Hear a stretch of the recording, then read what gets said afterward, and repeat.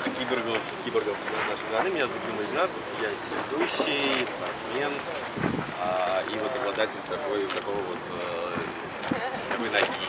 Я служил в армии, потерял ногу, и вот получил такую штуку. Я веду конференции, а это те немногие, с кем мы будем обсуждать а, различные вопросы гипотезации общества, а, хорошо это или плохо, почему нас люди боятся, что нужно делать, инвалидов воспринимали правильно, адекватно, они пугались нас.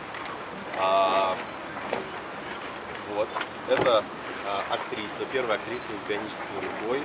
А, недавно снялась в фильме с Беном Аффлеком. Я думаю, что вы можете спросить ее, об этом все расскажет. Она умеет делать рукой абсолютно все. Но сейчас она села у нее, к сожалению. Извините, долго ехали. А, она, она все умеет делать рукой. А, она полностью себя обслуживает в.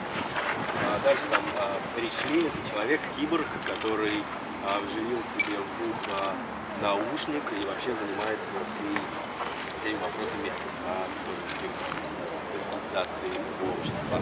А это а, изобретатель, вот она придумала такую руку, а, она креатор, а, мы тоже с ней обсуждаем, слушаем друг друга и придумываем разные идеи, как бы облегчить жизнь нам. Вот. Ну, это вкратце.